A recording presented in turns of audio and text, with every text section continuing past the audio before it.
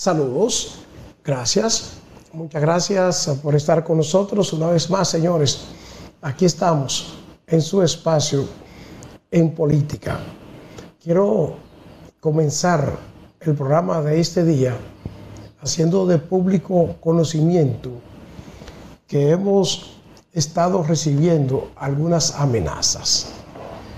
Amenazas de gente que se atreve, que se atreve demasiado, porque en este país hay un problema y es que hay gente que andan haciendo desacatos y no quieren que nadie, absolutamente nadie, le llame la atención.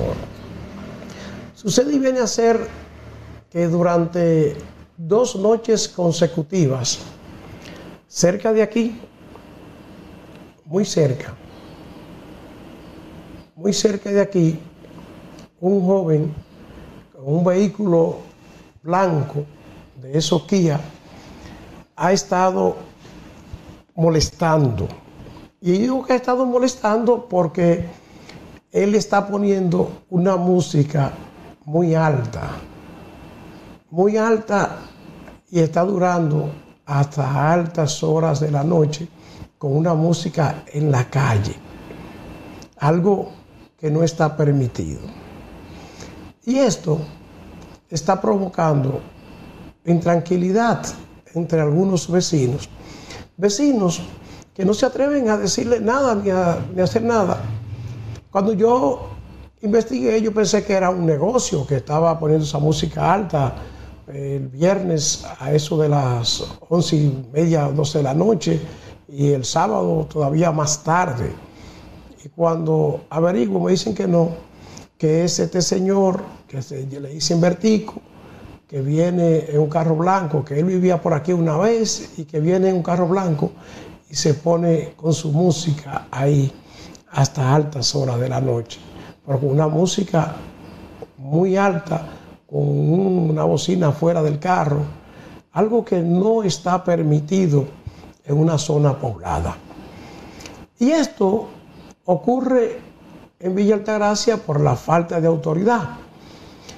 Y yo le digo a un vecino, bueno, yo voy a hablar con él porque no quisiera tener que llamar a la policía, llamar a la fiscalía para que vengan a actuar y le quiten la bocina, porque si nosotros llamamos, después se le va a dificultar recuperar esa bocina. Ah, pues este señor me dijo a mí que su música le costó su dinero y que él la toca donde él quiera y a la hora que él quiera. Y que para él no hay ley. Y yo me quedé pensando, pero ¿cómo que no hay ley? Y después me explican que es que el hombre cuenta con que su jefe político si cualquier cosa va y resuelve. Que así es que están actuando, porque se sienten protegidos políticamente. ¿Y qué daño le están haciendo a la sociedad? Pero todavía más, me advierte que haga lo que yo quiera y que mantenga a la consecuencia. ¿Cómo qué consecuencia me voy a tener? Si yo lo que tengo que hacer es decir simplemente la verdad, de lo que está pasando, que ese señor ha venido a molestar con este escándalo hasta altas horas de la noche en este sector y que ha intranquilizado a este sector y que eso no está permitido por la ley y no se le puede permitir a nadie, no importa de qué PRM sea. Y si el PRM apoya eso, allá el PRM con eso de apoyar vagabundería como esta pero todavía más, señores. El día pasado, un grupo de personas de Villa Altagracia que tiene vehículo, que tiene música alta, expresó su preocupación porque dicen que la policía les asedia y le trata de incautar y poner multa, a veces hasta con la música apagada. Y esa es una realidad. A veces la policía se cede con algunos, pero entonces con lo que tiene que actuar, no actúa. Y estos propietarios de este tipo de vehículos se reunieron con las autoridades y las autoridades le asignaron zonas donde ellos pueden ir a escuchar su música alta. Pero les recordaron que está prohibido, o prohibido sacar lo que tipo esto de los vehículos en zonas pobladas que no se debe estar poniendo esa música estruendosa en zonas donde vive gente. Y se lo advirtieron. Pero sin embargo, hay quienes siguen desafiando y siguen amenazando y que, que nadie puede hacer nada. Pues yo lo estoy diciendo por dos cosas. Primero, para que las autoridades actúen con este tipo de casos. Y segundo, para que sepan que este señor está indignado porque yo hice lo que yo considero que es correcto. Primero, a tratar de hablar con él para que sepa que está violando la ley, para que sepa que eso no se debe hacer.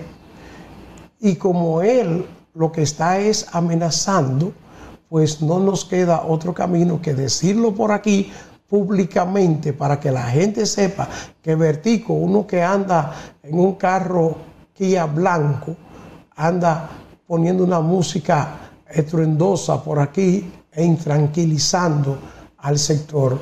Y espero que las autoridades actúen y que, o que él reflexione y se dé cuenta que cometió un error y que no, que no, que no vuelva a hacerlo, que es lo ideal. Porque, y ese, ese es mi propósito, que él reflexione, porque yo no quiero crearle un inconveniente de que le lleven su bocina, que como él dice, le costó su dinero. Entonces, por eso, por eso, no llamé yo esa noche a la policía, porque yo sé que le iban a quitar la bocina. Y se la van a llevar y le, le costó su dinero. Pero ya él está advertido, se le ha dicho que no es que uno que uno no quiera ni que, quiera, que es lo que dice la ley. Si él está en la ley, que siga, pero si está haciendo algo irregular, a las autoridades que se encarguen de esto, que se encarguen de esto, los de la policía, no es que vayan a, a tratar de macutearlo, no, no, es que apliquen lo que dice la ley para quien viola ese reglamento. Eso es todo, todo lo que hay que hacer, porque por eso existen las leyes, para uno poder comportarse. Ahora, uno también tiene el problema que se está dando en todos los barrios de República Dominicana. ¿Y cuál es? Que esta gente hace componenda con un grupo de personas que creen que están haciendo lo correcto y entonces atemorizan a todo un barrio y el barrio tiene que quedarse callado porque ahí están los muchachos, que si los muchachos se enteran que uno habló, que uno dijo, no, es que si están haciendo algo indebido, no importa que usted lo hable o lo diga, es que lo que está mal está mal. Usted no puede estar a altas horas de la noche molestando al que está acostado. Usted tiene que dejar que la gente descanse. Y eso está mal, muy mal hecho por quien lo haga. Miren, que uno tiene toda la consideración, porque yo no tenía ni que hablar con él, pero me molesté en decir que iba a hablar con él primero. Entonces, él está amenazante. Ojalá que alguien le aconseje y le diga no, que se deje de eso, que esa no debe ser la actitud. No debe ser. Y más cuando uno va a decirle, a decirle a él de manera personal. Porque si fuera con otro estilo, si fuera que uno quisiera hacerle un daño, pues lo que uno hiciera es llamar a quien hay que llamar. Porque yo sé a quién hay que llamar para eso.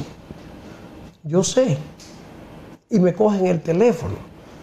Pero no nos interesa eso. Lo que nos interesa es que recapacite y que se dé cuenta que hay una ley que prohíbe, que prohíbe eso, que no se permite que usted esté con una música en la calle No, eh, miren, esto es tan, tan complicado, lo es, esta ley, que hay, que hay quienes creen que pueden hacerlo temprano en la noche. No, a ninguna hora está permitido que usted saque un vehículo y lo pare en una calle y comience a, hacer bulla. eso no está permitido. Eso se puede tolerar, pero no está permitido en la ley. Ojalá, yo sé que se lo van a decir y que lo van a llamar y le van a decir, ojalá que alguien lo aconseje y le diga que es mejor que él se ajuste a lo que dice la ley que no esté desafiando ni amenazando. Porque nosotros no le tememos a amenaza de nadie. ¿Usted sabe por qué? Porque nosotros tenemos un Dios que nos protege. Y siempre nos ha protegido y esperamos que esta vez Dios se encargue de este Señor y que le haga cambiar su parecer. Seguimos con más.